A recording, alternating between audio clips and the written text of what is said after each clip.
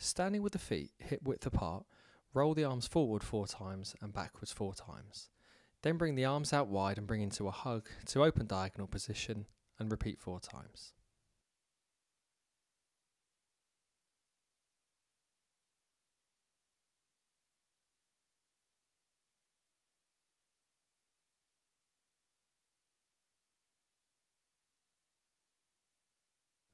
Whilst maintaining balance, push off the left foot and cross it behind the right foot. Then back to an athletic stance. Step the right leg across the left foot and return, and then repeat the move.